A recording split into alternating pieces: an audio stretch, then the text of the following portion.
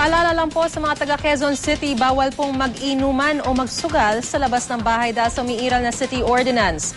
Kagabi, humigit kumulang 20 tao ang nasampulan sa isinagawang Oplan Galugad ng mga otoridad. Ang mainit na balita hatid ni Isay Reyes, exclusive.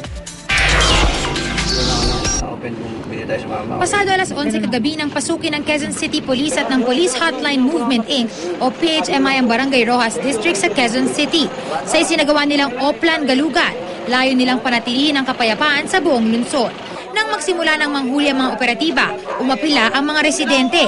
Pasok man sa bahay namin, magtulog na ho kami. Wala akong problema. Tapos po, di ba po? Pasensya na ho kayo.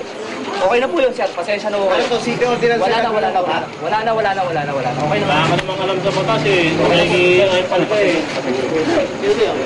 Naiintindihan po namin, naiintindihan po namin, Kapulis sir. kami. Nagpapatupad kami ng batas. Ano namin sir, ginagala nga namin. Huwag mo na kami i-questionin dyan. Naabutan kasi ang ilang binatira na nagiinuman sa labas ng kanilang bahay na bawal nang gawin sa Quezon City dahil sa kanilang city ordinance. Nililinis lang natin ang mga nagiinuman sa labas, mga nakalaglalakad na nakahubad at nagsusugal ng gabi. Gano'ng katagal na natin ito ginagawa?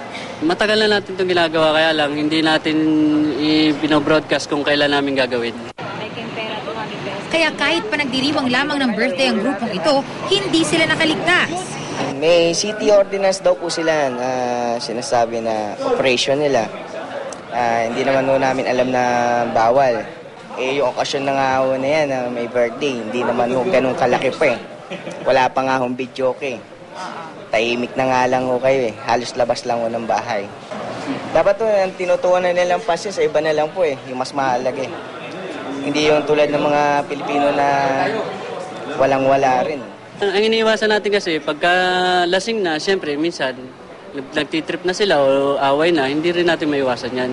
Kaya kung po pwede naman tayo uminom sa loob ng bahay, doon na lang tayo sa loob ng bahay. Iwasan natin uminom sa labas.